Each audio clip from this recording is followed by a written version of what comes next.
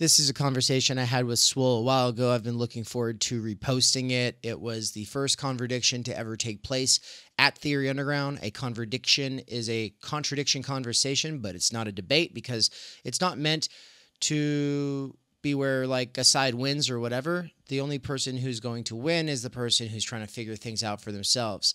So I dedicate this one to Mandy. Mandy listens to a lot of Theory Underground's content, has been a tier three subscriber for several months, and she asked me about Marxism. She was asking me what it means to be a Marxist, what it means to be influenced by Marx, like what is what is that? And so this is a really great place if you're wondering those kinds of questions. If you're wondering how I'm influenced by Marx but do not consider myself a Marxist and why it is that I still maintain uh, relationships with some Marxists, such as Swoletariat here. And so, look, I love Swole. Uh, we've always had our disagreements, but I don't know. There's something about him. He knows how to have disagreements. Uh, I mean, maybe not on Twitter, but you know, definitely when it comes to actual conversations. And so, yeah, love it. I hope you will all enjoy it as well. And if you're curious about what Theory Underground is or how to get more involved, stick around until the end because I have like this commercial thing that I like to play at the end. It's like uh, a PSA about, you know, what we're up to, what Theory Underground's all about, what it does, etc. There's lots of courses coming up. There's lots of really exciting things going on. This is July, baby. Lots of really cool stuff is happening in July. The monthly subscribers have access to a bunch of really awesome lectures and significant discounts on the courses taught by myself, as well as other instructors at Theory Underground, including Todd McGowan, Chris Cutrone, Benjamin Studebaker, Michael Downs, etc., etc., etc. Enjoy. All right, everybody, welcome to Theory Underground. I'm your host, David McKerracher. But today, I mean, this conversation, this segment of this epic live stream marathon on April 18th, 2024, is going to be sort of refereed by Nance, even though I don't think it's going to be necessary. Swole and I are going to be modeling the first of these contradiction conversations from today. We don't have the full time that some of these later ones like McManus and Spencer Leonard are going to have, or like Todd McGowan and Chris Cutrone, or like uh, the Becoming Human Project, Samuel Loncar uh, with Justin Murphy from The Other Life. They each get an hour and a half. We get an hour. And we're already starting late because I apparently didn't send the link to you soon enough, Eamon. My my bad. So this is kind of the conversation before the conversation, where we're just going to talk a little bit about our development um, uh, with political with political things, philosophical things, whatever. We both used to call ourselves Marxists. Swole still does. I don't. Uh, and uh, but let's first get into like where you got that name, that nickname, Swole um, and uh, and how we met. And I'll let you just take it away. Introduce yourself however you like, man. Yeah, so I started watching YouTube. Um, I don't know, uh, eight years ago or so, and uh, I remember around the Trump Trump's first election, I really wanted to. Uh, I guess I'd gotten into video essays anyway. I really wanted to make my own video essay, and I wanted to do a political YouTube channel because I my I was uh, I was a baby Marxist, and I had uh, politics, uh, political science degree from university, and I wanted to, to kind of join the fray and fill a space that I thought was was not being attended to, and that was kind of a uh, a Marxist or at least a class conscious leftist position that was counter to uh, at the time what would have been called social ju- social justice warriors, um, postmodernism and yeah i so i saw a lot of problems with what i saw on the left and so i wanted to be i didn't see many many voices critiquing uh that that stuff from a uh, a marxist perspective or even like a social democratic uh left position.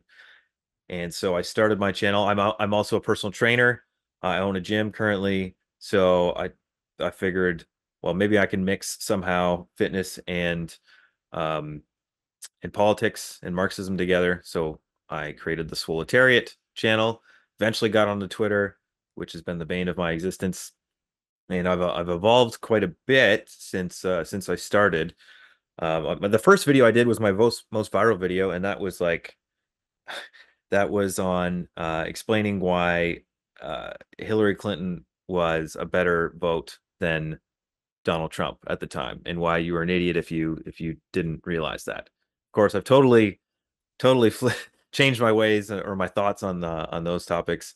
Um, but a lot of the same kind of attitude and um and uh, uh yeah maybe just attitude i guess uh, i still implement um in in how i go about taking on opponents and uh and and dealing with ideas and uh, yeah, then I joined a Marxist organization, the uh, revolutionary organization, the uh, IMT, International Marxist Tendency in Canada, and that's where I got the bulk of my political education. And but at the same time, I was interested in stuff uh, in philosophy, and I was in a philosophy club in my local city, and I discovered Dave's channel. I followed some other philosophy channels, um, and anyway, where what I where I've come to is kind of thinking that the the the revolutionary Marxists, who I mean, I was in a Trotskyist organization, but in general, they are in many ways stuck in uh, you know thinking uh, with with from the perspective of Lenin, Trotsky, Marx, Engels, people from a hundred years ago or more, um, and you know they update their their analysis for you know for the conditions of today supposedly, but they don't really think outside the box um, and they like to stick inside their box. And I think they they I think they miss a lot. So I I in my view, the the the the uh, the Marxists, the Orthodox Marxists, are missing uh, a, a lot, and I think they could gain a lot from from opening up to theory and uh, not just uh, decrying them all as academic Marxists or petty bourgeois intellectuals.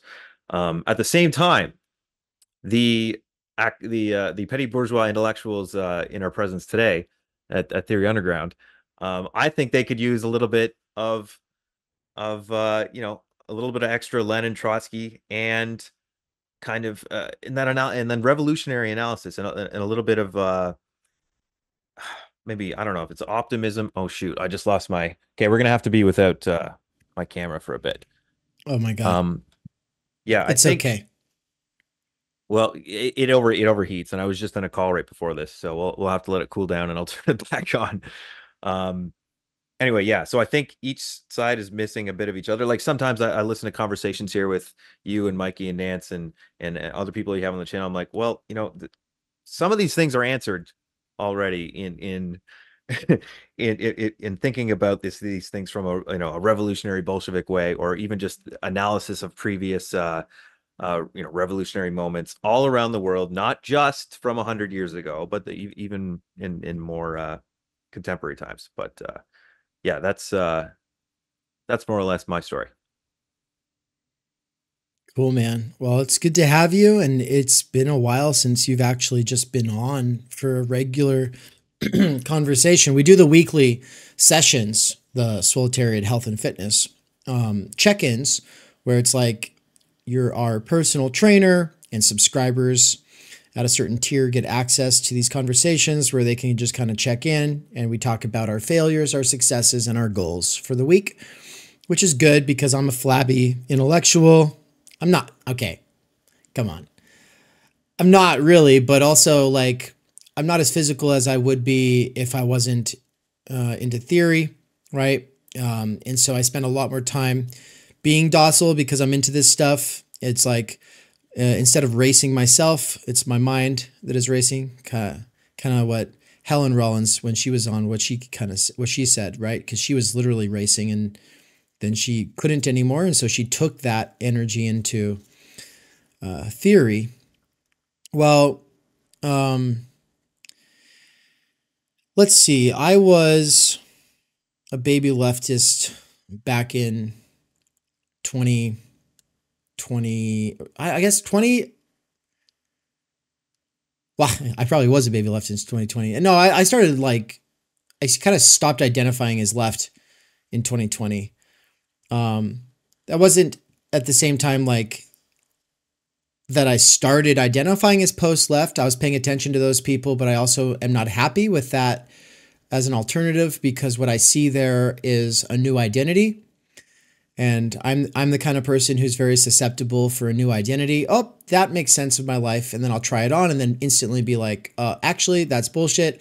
Uh, think you know, and I'll just keep shedding layer after layer like a snake, right? And it's just like, okay, maybe actually let's use something less less uh, Slytherin related. I I would like to think that I leave behind uh, my caterpillar and cocoon stages, and I become a like a, like gay little butterfly. That's what I become. Um, I'm not this little, I'm not this little snake, but I'm this little butterfly. I've I've evolved. I would like to think. I mean, I know that uh, Eamon said he has evolved. You can't really tell from his Twitter, but I believe that he has.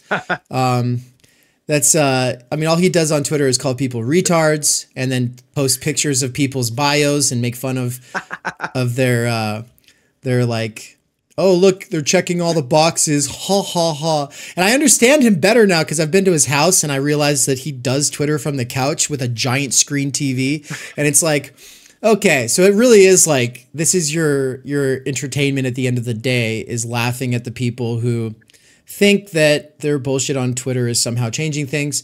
But of course that's not your real uh, work that you're doing in terms of your own development and so I don't think people should judge you off of that any more than they should judge anybody off their tweets. Don't if you judge people off their tweets, you're already like not in the conversation we're having because nobody here cares about what you tweet. Um, but with that said, um, so I was saying I was a baby leftist. Well, when? Uh, probably like I think a year, the year that I was in recovery from burning out on the previous stage of my life where all I cared about was sex, drugs, and rock and roll. And I was getting into psychedelics and blah, blah, blah. And it all kind of just like, I bottomed out with all of that stuff and I was kind of over it, but I hadn't like, I didn't figure out where I was going yet. And I was basically in that cocoon stage of being a bunch of goo. Um, and I was on tour with some some of my friends from the music scene I was in. Um, they were in a band. I was the roadie. Um, and we were going through Seattle and uh, that you know there was some t- there was a tour stop in Seattle, and we were all hanging out at this anarchist squat, and they were all talking about uh, Occupy related things. I didn't understand anything they were talking about. I remember being high and just thinking, it sounds interesting, but I didn't really go any deeper than that. I didn't really follow along um, one of my friends from back then was having a great conversation with them all, and he was always someone whose ideas had seemed a little bit more uh, qualified. And so, you know, I started to be like, wow, like what kind of conversations are these that they're having? And so I started paying more attention to that friend after that. And then he went to college. And I remember thinking, like, what are you selling out? Because they were they were in this like, sort of punk band and they were like super, super elitist. And here he was going to college and I remember thinking like what the hell? And he's like well you know I'm spending I'm get, I'm going into a ton of student loan debt and then I'm using the student loan debt for tattoos and all I'm studying is political philosophy. So it actually makes sense. And I was like uh okay. So I was like well that's kind of cool. Cuz here I was like thinking what am I doing with my life? I can't keep working a job like this. Like all of these jobs that I've tried to do and my own business and everything it's not getting me anywhere. I, I don't see a way out. I don't see a way forward. I was completely given up. I was like super depressed for like months that year, months consecutively. Never, never before have I bottomed out that way. That's and and I was like, well, you know what? I'd go to college if it wasn't so expensive because it's the political philosophy stuff sounds interesting at least. And he was like, yeah, man. Well, you could get a Pell Grant you know, you're poor, you're the first person in your family to go to college, you could get a Pell Grant. What's a Pell Grant? You know, so I, I look into it and it's something Obama had expanded to more people to include me. Of course, at the exact same time that he expanded it, it also stopped covering everybody's full tuition. I think that's been gradual, so it's not Obama's fault. I'm not saying thanks Obama on this one, but uh, it was you know it's gradually ceased to cover the full tuition, cease to cover half tuition. ceased to cover. I mean, maybe now it co- can cover like a quarter of the tuition. Like I'd probably owe a hundred grand if it wasn't for the Pell Grant combined with the different kinds of scholarships that I got on the basis of merit, but also on the basis of first generation, blah blah blah, poor, low income, however you say. All that was sort of my my gateway into philosophy, which I did not understand at all. And my my politics was like, oh, I've I wish people had better lives. And I don't like conservatives. And I tend to like people who are liberal. That's pretty much what, where it was at at the time. I used to like progressives until I went to the university. And then the university kind of was like, oh, this is a different kind of progressive. Like a progressive in the workspace was like one thing. A progressive in the university, as we started to enter social justice activism, right? Like that became a different thing. And I remember sitting down in a class, first day of class, and the student in front of me, well, I did I couldn't see a her, it was just the back of her head, right? I, wasn't even noticing her. I, there's this guy beside me.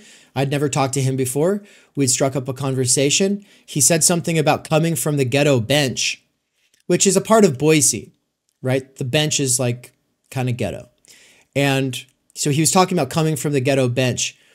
And she stands up and turns around and goes, How fucking dare you? And we were both like, Uh, what?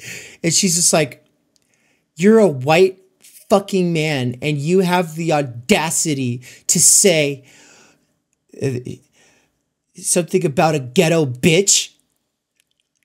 And, uh, you know, so he kind of is like, he, he tries to like, he, he tries, he tries to play it cool, you know, like when someone else fucks up, and you don't want to like make them eat it. So he's like, oh, no, no, no, no, no. I was saying the ghetto bench. And she's like, well, it doesn't matter anyway, like instantly. Well, it doesn't matter anyway because you're white. You shouldn't be saying ghetto. And he was like, I'm from there. And then the teacher walked in and everyone turned and focused on the, the and I was like thinking, I was like, did that just happen? And then I started to see more and more of this and it just started to grow and like become more of a thing. Like when I was at my under, like when I was in my first two years at college, like it was, it was very like there's the atheist kind of socialist friendly sort of libertarian philosophy club with a couple of oddball Catholics, and I was a president of that club. And then there was this other club very active on campus called Campus Alive in Christ. And they were super cringe and lame and they were, they were a bunch of douchebags because they would go around and tell people stories about us. And I'm sure we weren't great to them either because I was in a new atheist phase at the time. I, I admit. Um, my shit was very superficial at the time. I, I it's true. So you know, we were all kids, whatever. Um, but but that was the contradiction. There was like, oh, they're conservative and Christian, and we're like sort of left-ish and cool. and probably not for the most part like atheists except for these you know big brain you know catholics who'd hang out with us and then i go to boise state university which is a whole different dynamic see it's a difference between north idaho and south idaho in north idaho it's just like there's christians and there's atheists and everybody's kind of libertarian and some people are more republican in their libertarianism other people are more democrat uh, you go to Boise State, it's a blue island in a red sea, right? It's the capital city of the of the the state, and it's a very red state. And so the the the blue people are extremely like reactive and they come here for combat.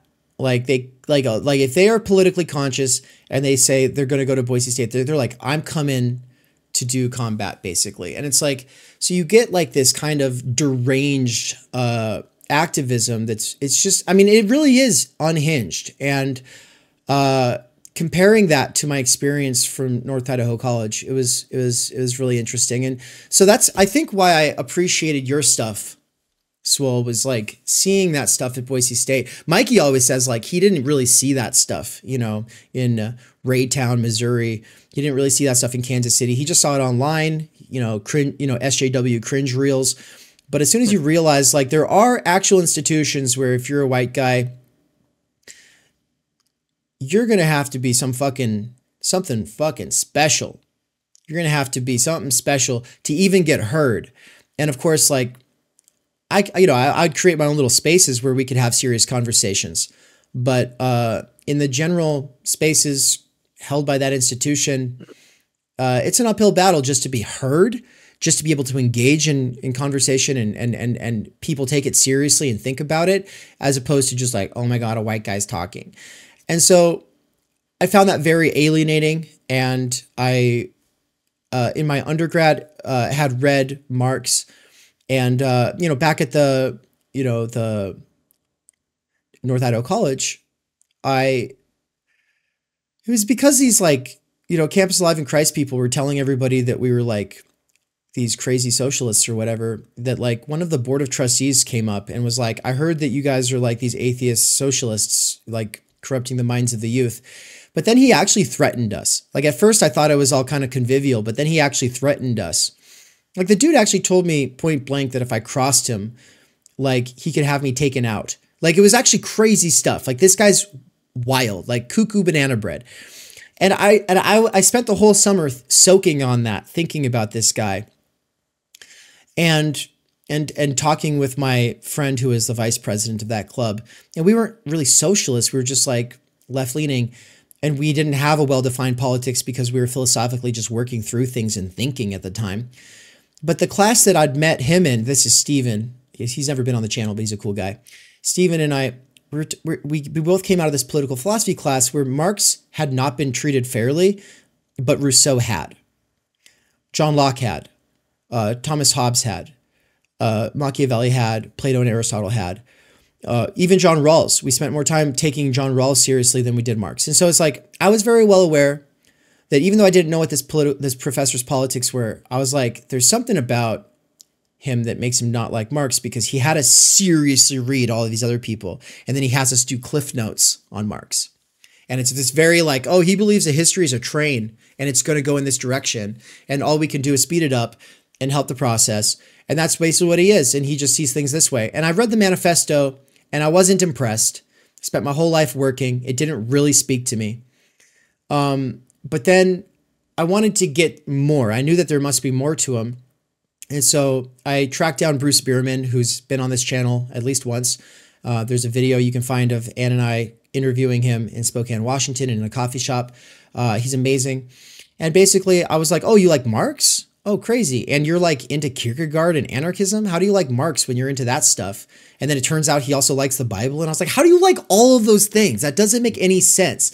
And he was just like, "You got to read Kant and Heidegger, man. I can't explain things to you, but I could give you some lectures on on Marx. And so basically, we put together some lectures on Marx, and uh, he uh, we you know invited the whole campus, and it was kind of like a way to like get back at this uh, board of trustees guy for threatening us. We had the the fall semester begins, and there's these giant posters with Marx's image plastered all over the campus, and it says free pizza.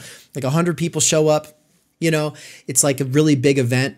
And of course, people are just interested in the blood sport aspect of it all. But then it turns into this big intellectual thing.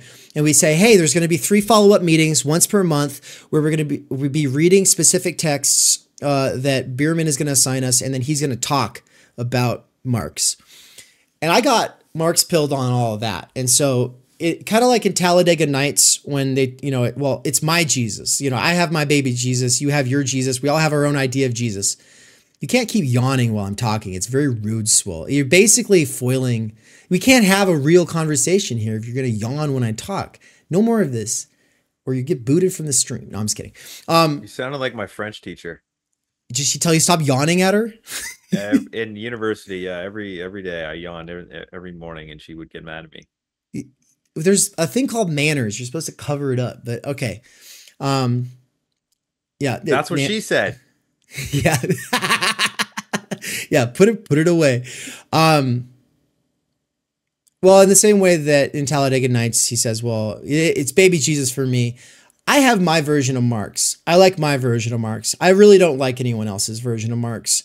And my version of Marx is at the library for 10 years studying that British Museum library, studying the you know socialism from and, and, anarchism from France. He's studying political economy. He's already been studying philosophy for ten years at this point. He's studying Mill, Ricardo, and Smith at the same time that he's like deeply ensconced in the Hegelian milieu and having active conversations with people from that milieu as well as these other ones and and he's trying to figure out the situation and he's got a bunch of operating assumptions.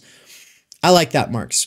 What I don't like is worldview Marxism that takes those operating assumptions and says based, true, done, just need to do the same thing again. And I think that Lenin did that. I think Lenin was like based, true, good, I got it and then just ran with it. And it worked out for a hot minute because nobody was home when they went to the freaking palace. And so, of course, they were able to take over for a hot sec. But then the whole world reacted in the way that it fucking obviously would have reacted.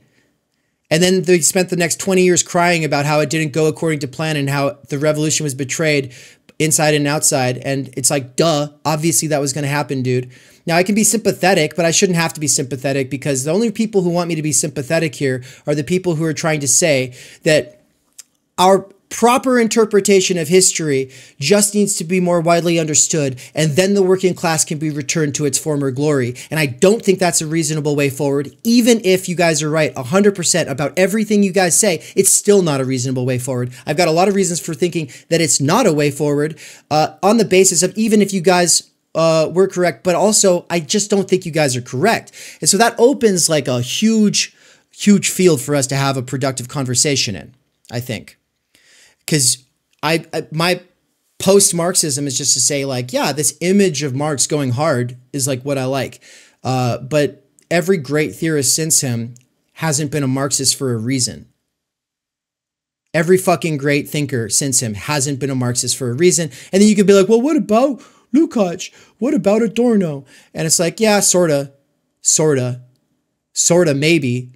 But the situation has changed. That's my position. The situation has changed in fundamental ways. Uh, class, class composition has changed. The medium has changed. The relation between superstructure and base has changed. The way that base is organized has been changed. Um, and we could just get into this for like three hours, and I'd like to, probably in June is kind of my invitation to you is to like come back to it. Um, and of course, I don't want this to be a conversation that where it's like, oh, one of us has to win. I think the only people who are going to win from contradiction conversations are going to be the audience members who get to see contradictions um, articulate themselves vis-a-vis the other who can be there to question and also set the record straight if that other is being misconstrued. And so if I'm misconstruing your positions on things um, or you mine, then we will be able to, over time, address that, hopefully, so that other people can have their own education accelerated. Because I don't care what you all believe, this is just where I'm at. And I love Swole. You guys can't dissuade me of this, even though he's going to be called a transphobe until the end of history. I don't care. I love him. And uh, that's where I'm at uh, there's a lot of other stuff about that academia story and my coming into fruition and how I got into being a bread tuber and how Swole like started following all my stuff and commenting on everything back in the day. And then he like made a video about his favorite bread tubers that were small and underrated, and I was one of them. You're muted, by the way. And then yeah, there, there's a lot that goes into that backstory, and then like ways that he's had my back in situations and just stuff but for now, I want to just stay at the level of theory and just say, yeah, getting post Marxist was really just like, well, seven years of Bernie activism. I don't think the Marxists ever had anything real to offer. I don't. I, I was always like, yeah, I love Marx, but you guys aren't doing it, and you don't have anything real to offer. But they always come around with a gleam in their eye, like they've got the secrets of the universe answered, and I don't fucking think they do. And then they're always trying to hijack everything and infiltrate groups and break them up. And there's just like this actual weird dynamic with uh, within the DSA, outside of the DSA. I left the DSA after starting a chapter because I got super disillusioned on their bullshit, of course, in 2019. But it's worse um, when I just want Medicare for all. All right. I don't care about the rest of the bullshit. And they're like, just doing their stupid Marxoid shit. I was just like, stop, guys. Like, you guys are assuming that there's a working class when there's not one. There is a post class fractured mass. And if we can get some kind of class, pseudo class consciousness together enough that we could get some healthcare, that would be nice. But I was being sneered at for seven years and it pissed me off concerning Marxists. But you And Tut and Lane and Cutrone are like pretty much the people holding the line. And the reason that I say, ah, it's still worth it to talk to Marxists because they have they actually have a lot they can still teach us. All right. There you go. What do you want to do with that?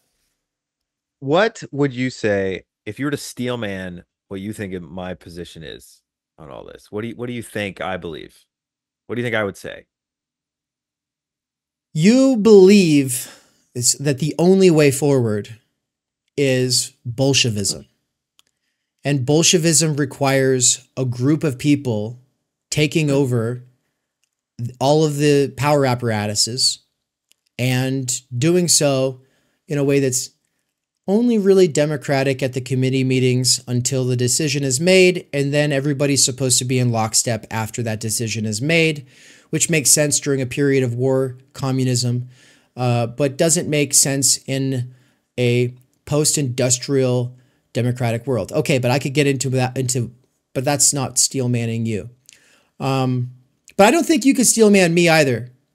To be fair, I don't. I don't think you you do watch some of my stuff, but you haven't taken the requisite the, the requisite courses at Theory Underground to really have what I mean by the situation, even like like uh there yet. So, but my my steel man to to to the best steel man I could probably do for you is to say it ain't going to come from the Democrats. It ain't going to come from the Republicans. It definitely can't come from a third party. And by it, I don't even mean utopia. You don't mean utopia. You don't think that it's like salvation. You're not like a religiosoid kind of Marxist. I know that. And so to to steelman you, the only practical way is going to break from what Americans consider to be dem- democracy.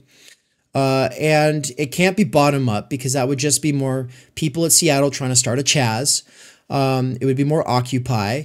Uh, no, and it can't be these opportunistic politicians. It's going to have to come from people who actually study the material conditions and understand capitalism is the real problem. And yeah, they're going to face a lot of backlash. They're going to face a lot of hardship in trying to make something better. And so they're going to have to uh, deal with uh, probably the CIA, the NSA, the various military uh, apparatuses. They're going to have to deal with uh, all these politicians, the cops. Like they, they're going to have at every side, uh, uh, uh, like actual repressive forces being used against them, as well as uh, propaganda, which speaks for itself. The work is already done, you know that that war is complete as far as I'm concerned. But your the reason that your position makes sense, as I've described it, is because of the way Benjamin Studebaker talks about the situation here in the chronic crisis of American democracy, where it's just like the way, it, as it says, the way is shut. The tug of war between the two parties means that even if you get a Bernie in there, or even if you get a Cornel West in there, or even if you get like someone who's way more radical than that, and even if that person had the Senate and the House for like a hot sec, it's not going to matter because the system is made to so that anybody who gets significant advances on any of their political goals, that that shit can all be retracted four to eight years later, and it just becomes this spiraling downward tug of war forever. And so, like, the way is shut. And so you're looking to the last time somebody said, ah, the way is shut. Well, let's kick the door through. And so to steelman you, you're living in fidelity to an event where someone actually kicked the door through. And you're like, well, they might not have been right about everything and we can learn from some of their mistakes, but we want to be able to kick the door through. And how are we going to do that if we don't organize with other people who agree with us on at least that the fidelity to that event? Which so, yeah, there, I mean, there isn't there isn't an element of fidelity to to one event in in particular, especially with with Bolshevism. But really, what it is is a fidelity to the whole of the history of the working class and socialist struggle. So that you know that includes all the experience from before from the 1905 revolution to all the revolutions and the failed revolutions before that. That includes uh, the Paris Commune. That includes what happened in Chile. That includes um, eh, Quebec 1970, whatever the hell it was. That include like it, eh, uh, it includes 1968. It includes every basically revolutionary moment where there was a where there was a possibility for not necessarily like you know world revolution or anything but a possibility for uh something from more progressive to to actually have emerged. Um, and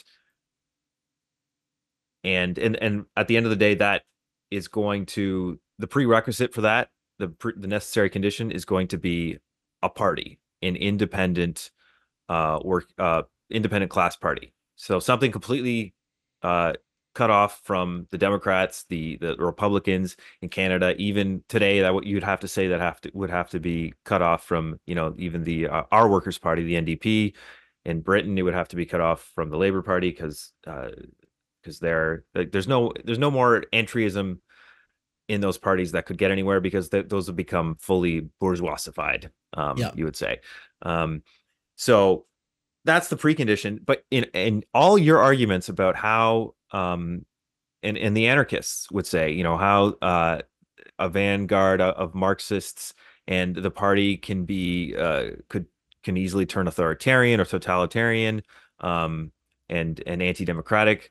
Oh, geez, we lost me again. Um, yeah, that that's always going to be a risk. There's an inherent risk in all that, and that's. But uh, what I'm saying is that's that's going to be the risk you have to take. It's basically the going to be the only way forward. And uh, however we get there, um, it is going to involve. There will be unions involved, although it won't be like it was 100 years ago or even 50 years ago because unions like you said uh, the working class is not the working class it's not a real working industrialized working class like it was 100 years ago and this uh actually could i get you to expand on what you mean by a post class fractured mass? Yeah basically and this is not going to do fair to the argument i do think that there's a couple years of working through the, these long form lectures and giant texts and then distilling that into something that's a lot more cogent but for now it's basically to say that people it's not just like you and Ashley Frawley, for instance, would take the position that, oh, well, you know, what we need is people to work together and organize in their interests as a as the working class, um, as opposed to identity politics, right? Um, and you guys see identity politics as the thing that happens when there's like a void to be filled politically, when there's not an actual working class movement. It's going to deteriorate into identitarianism, reactionary on both sides. One, one side will call it self progressive, the other side will call it traditionalist, but they're both reactionary, um, identitarian. My position is that all we have immediately is identities. Um, and that's a functional product of the material system and the changes that occurred in the 20th century. That's not ideal. It's not a way forward. We can be realists about it. That doesn't mean we should embrace it. It also means I can be more sympathetic to people who do embrace it. I get where you're coming from if you're black and all you care about is uh, reparations and and some affirmative action or whatever. It's like I get it. I get that.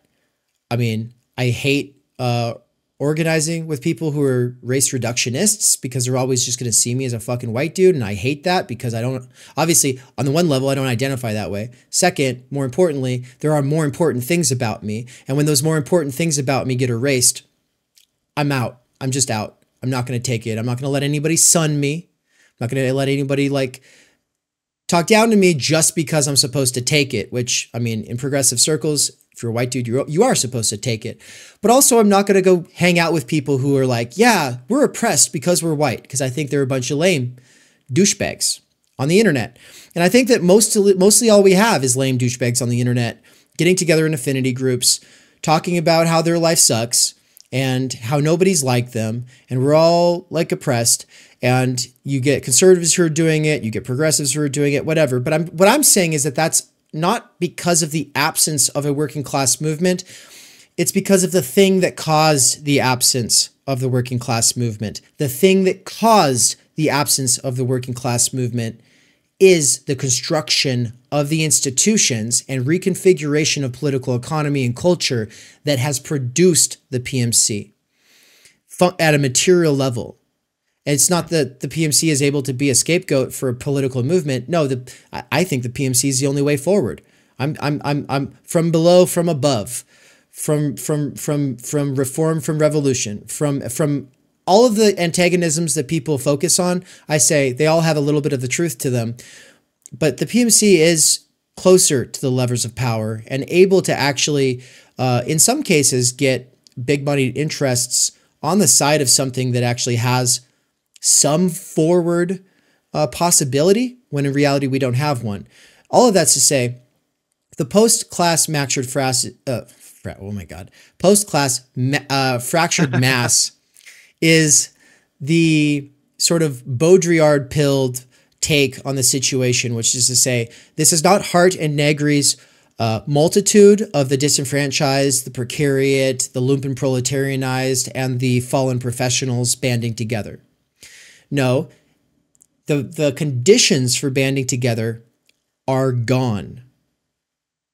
And we have to be realists about it and then figure out what to do.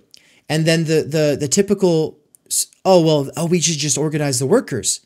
Yeah, but the workers are they're not they're not this homog it was they were homogenous and they actually did uh, have their hands on the levers of power um, at the time that Charles Dickens and Karl Marx were writing. But now we live in a world where they don't see each other the same. And it's not because of left versus right. It's not because of abortion versus pro life. It's not because of trans versus trad. It's not because, no, it's because we are carved up in a million ways and not carved up at the level of if you, it's like, I think it's unrealistic to get people to stop using the toilet and start using their lawns. I think it's unrealistic. I think it's more unrealistic to get people to fundamentally prioritize class at this point. And I think as a person who's been a class reductionist of some sort for like 10 years, what does that mean? And sitting with it and trying to ask what that means, and therefore reading Lyotard and Baudrillard and Gorz and all of these other people while continuing to read Marx's greatest work, Das Kapital with the Grundrisse, and, and, and saying, well, what now? Given that situation. And then I always say, but hey, maybe the Marxists are right and I'm wrong. It would be great if they're right. I just don't think they are. They've been saying the same things for uh, over 100 years, so it's not getting us anywhere. And I don't see a way forward uh, with that uh, set of operating assumptions without it getting called into question. So, right. Okay. So, I, I if we had time, I would want Nance to elaborate on what he means by the post mass fractured class. And I, I think we should give him the final word as the pseudo referee here. Uh, but we actually have to close this thing out in like four minutes. And so I'm going to give you the floor, Swole, and let you set the set set up the next conversation, basically. Um, so you you basically get to set the terms of the conversation. You get the last word, besides Nance kind of just letting you all letting us all know his thoughts. But yeah, do with it as you will. Okay, so there's a couple things to a couple threads to pick up on there. Now you said earlier that that the Marxist position is that uh, we we just want the our understanding of the world and capitalism to be more if if it only were, were more more widely understood and accepted if we got people to prioritize class that this this would be this would be the way forward. This is kind of an idealist conception, though, right? Like Marxists, Marxists talk about like it's capitalism itself, the conditions itself, the crises themselves, and um, that that are going to push forward uh, people not not to becoming Marxists or agreeing with our position, but push them into a, a position where they're like, we got to fight or we got to change something. This ain't working. We got to do something else, right? And so if if society gets to the point and when it gets to the, the point where enough people are pissed off for conservative reasons right the masses move out of conservatism not because not out of uh out of their own uh, uh desire for progress and, and for socialism. They're going to move because their standard of life is threatened. They're going to move because they want to preserve what they have their middle class lifestyle whatever it is. Um, when they see you know their their checks aren't getting paid society is collapsing uh, or or whatever, um, things aren't working out, they're going to they will turn to people even with names like socialists and Marxists and and fascists and nationalists and whatever, they're going to turn to the people who seem to have answers. People turned in Argentina to that that whack job uh, libertarian guy. When they, uh, you know, yeah, you asked them ten years ago, would you ever vote for a guy like this? You ask Americans, would you ever vote for a guy like Trump? Uh, ten years ago, um, uh, or twelve years ago, whenever they would say no. But when push comes to shove, people when they see they need they need uh, there needs to be a change and something different appears with uh, with offering answers. The problem is this Milei guy, this Trump, this Trump guy, they don't have the, the answers are false. They they aren't going to give them the results. But Marxists and uh, uh, you know Trotskyists, they they I, ideally they would be able to get victories. They will they will win people over by showing them by do, by getting things that they did not think were possible um, by winning victories and and pushing the struggle forward.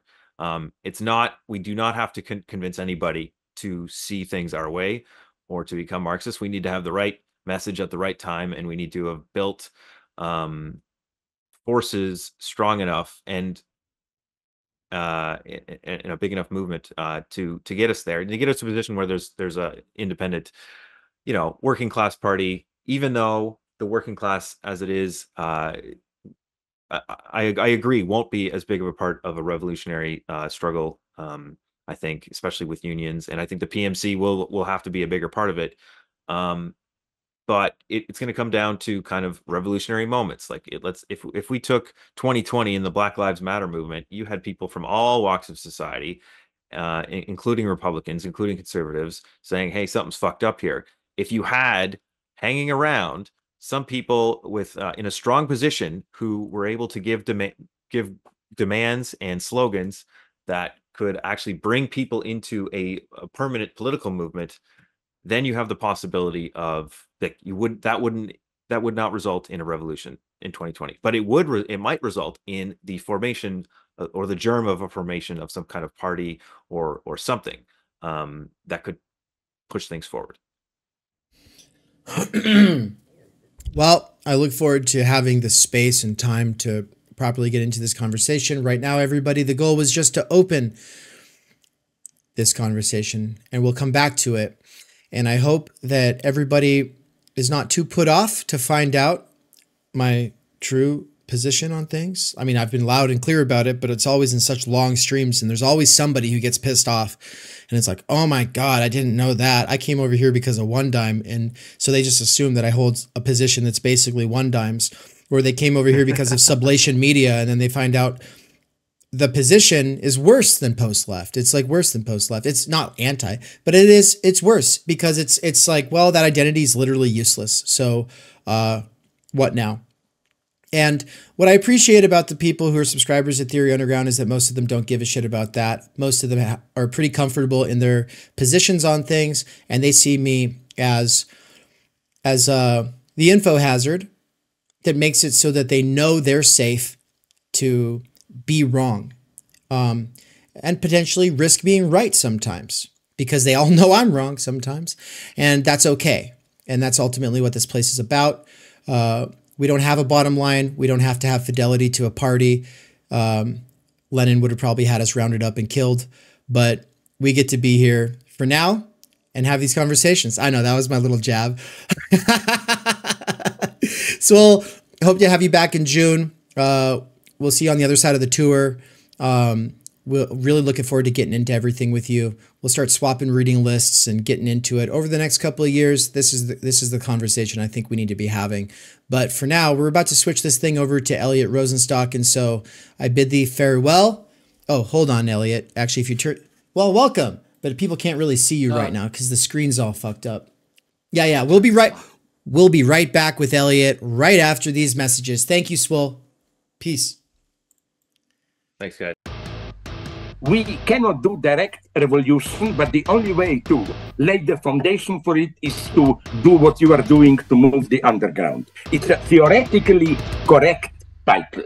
Welcome to Theory Underground, a place for workers with earbuds who are tired of the bullshit and just want to get down to it. Big ideas, rigorous thinking, and ultimately liberation from necessity. Research at Theory Underground focuses on what is most important for understanding our current situation theory of the subject, capital, timenergy theory, critical media theory, CMT, and the most essential critiques necessary for understanding why the theory, ideology, and common sense of influencers left to right misses the mark. Theory Underground is coming to a city near you. Besides a commitment to publishing certain underground theorists and popularizing certain fundamental concepts, we have toured the United States and are touring Europe to promote our ideas, courses, and publications. You've been reading Underground Theory. Amazing book. I'm a publisher and an editor. I run a review of books. Literally, it's my living. This is the best edited collection I've ever read. Okay, picture the scene America, early 2021. An Amazon warehouse worker arises from the emerging underground theory internet scene to create spaces for untimely topics and concerns that are too often neglected or kept in isolation today. Joined by a revolving cast of underground theorists, academics, and critics, he establishes what will become Theory Underground, a teaching, research, and publishing platform by and for working class intellectuals, autodidacts, and academics who want to do more than they're able to do within the confines of academia. That warehouse worker's name is David McKerracher, and his book Timenergy is his first major contribution to the world of theory. It was recently reprinted with a foreword by none other than Slavoj Žižek, who also contributed to Theory Underground's latest book. Ah, ah, ah. My Bible, it's an excellent book. A collection of essays called Underground Theory. What you just heard is an excerpt from the Strange Exiles podcast, episode 23, where Bram from Strange Exiles interviewed me and Mikey. For those who don't know, Mikey is the author of the Dangerous Maybe blog. We are publishing one of his books here shortly at Theory Underground. He's also a lecturer at Theory Underground, and he's someone I've been friends and a collaborator with for over 10 years. But most importantly for you all, he's a fantastic lecturer, and it's a crime that he has to do wage labor right now. One of the long term goals of Theory Underground has been now for a couple of years to hashtag free Mikey. That is something that I've been really pushing, but first, obviously, I have to get freed myself. So the two of us are able to do this because, you know, as Mikey said, build it and they will come. Well, I tried and I built a website and platform. Uh, I had my own app and everything, but it's been really buggy and uh, it's more than one person can handle. And that's, you know what, a really good lesson for me. And so for now, what we're doing is moving it to a temporary intermediary platform until we are able to get some more serious funding. And ultimately, we want to be in a place like this a real brick and mortar digital nomadic mecca where people can come from all over the world, but also the app was really expensive. And so by quitting it, I am now able to save a lot of money. And with the help of my patrons and the students at Theory Underground, especially the monthly subscribers, I am officially able to quit Amazon and do Theory Underground full time. So thank you so much, everybody. This is one huge step forward. With that said, several subscribers did not migrate from the now defunct app to the new setup, and I'm guaranteed to lose people over time. So please, if you want to get involved, become a subscriber. If you're not even sure what this is all about but are just curious, then I've added tier 0 and tier 1 for very basic kinds of access to what we are doing behind the scenes. If you don't have any time or energy to get involved, but you do have some money to help support this project from afar, then please check out the Patreon. My patrons over at Patreon make the podcast and public YouTube possible. Thank you. As for once in a lifetime events, check out the new poster for the American Idiots Theory Underground European Book Tour. Paris, Brussels, Berlin, Vienna, Linz, Krakow, Glasgow, London, and Oxford from April 27th to May 25th, 2024. Two events are already fully booked out. Save a seat at an event by getting in contact with us ASAP. Finally, the call for proposals to our conference in Mexico on What's up, everybody? TUCon 2024 update here. It's not happening in Mexico anymore, but it is still happening on October 24th through the 27th. The change was made because a lot of the people that wanted to attend and that were expected to attend said they could probably afford to travel if they had more time advance notice. Uh, so save up for June 2025. If you have to choose, right? Because uh, other it, this one that is happening this year is happening physically in Boise, Idaho, because we have a lot of collaborators and fellow travelers and co-instructors there. But you can attend virtually for this one. You won't be able to attend virtually next year. Um, so yeah, if you have to choose attend physically in 2025, the call for proposals already happened. The writing workshop for proposals already happened. You can still get the links to both of those. Just shoot us a message and ask for those links. We'll get you those. And the form goes live on June 1st, and the deadline is June 15th. So if you're attending physically, let me know ASAP. Get in on it. All right. Finally, last little thing here is to say thank you so much to my patrons over at Patreon. The Patreon is for people who are too busy to be students or subscribers at Theory Underground, but who want to see more of this free content on the podcast and YouTube channel for Theory Underground. You are the ones who see something of value in the free content being made available here and you want to see more of it. Your patron pledges at Patreon are a real motivator for me. So thank you so much. Especially thanks to Marilyn Lawrence, Bert Vanderkar, Carl Vanderlip, Nikolai, Sahil Kumar, Zuxandra, Darian Large, Tyler Murphy, Max Mackin, Al, Algeri, Ben Rosenbluth, Atlantic Airlines, Lewis, Matt Payne, Neil C., Simon Condon, Yiz, and Schwabkinson. Thank you.